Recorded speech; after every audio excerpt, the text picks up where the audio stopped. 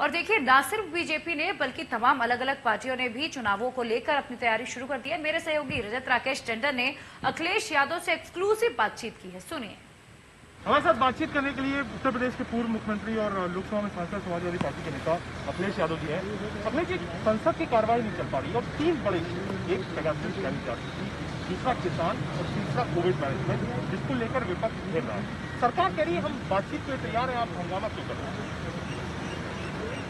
Bharatiya Janata party को जनता ने इतना बहुमत दिया, भरोसा किया। आखिरकार देश के तमाम लोगों की जासूसी की क्या ज़रूरत है और फिर ये भारतीय जनता पार्टी ने कहा था कि वो किसान की आय दोगुनी कर देंगे। और जिस तरह के काले कानून आए हैं, इससे आय दोगुनी नहीं होगी, किसानों की खेती बिक जाएगी, किसानों की बर्बादी हो जाएगी, और बाज़ार के हाल पे किसान को छोड़ देंगे। और जहाँ तक सवाल कोविड का है, क्या सरकार का जवाब ये हो सकता है कि ऑक्सीजन की वजह से किसी की मृत्यु नहीं हुई।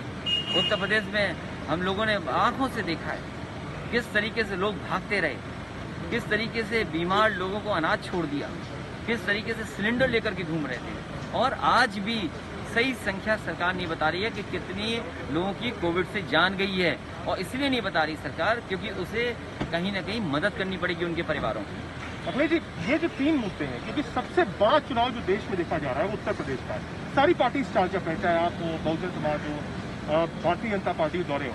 क्या इन सब मुद्दों के साथ ही उत्तर प्रदेश का चुनाव घूमेगा? चुनाव मुद्दों पर होगा, और भारतीय जनता पार्टी को जनता ने इतना बहुमत दिया, भरोसा किया। आखिरकार देश के तमाम लोगों की जासूसी की क्या ज़रूरत है और फिर ये भारतीय जनता पार्टी ने कहा था कि वो किसान की आय दोगुनी कर देंगे। और जिस तरह के काले कानून आए हैं, इससे आय दोगुनी नहीं होगी, किसानों की खेती बिक जाएगी, किसानों की बर्बादी हो जाएगी, और बाज़ार के हाल पे किसान को छोड़ देंगे। और जहाँ तक सवाल कोविड का है, क्या सरकार का जवाब ये हो सकता है कि ऑक्सीजन की वजह से किसी की मृत्यु नहीं हुई?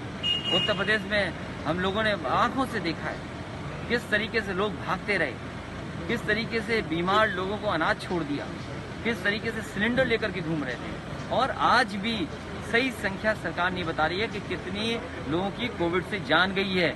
और इसलिए नहीं बता रही सरकार क्योंकि उसे कहीं ना कहीं मदद करनी पड़ेगी उनके परिवारों की।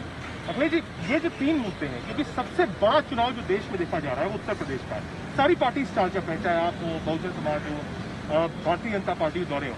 क्या इन सब मुद्दों के साथ ही उत्तर प्रदेश का चुनाव घूमेगा?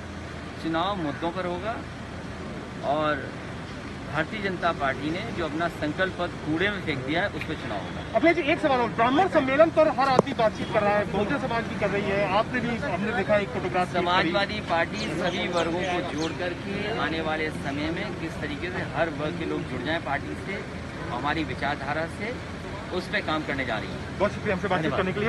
India news.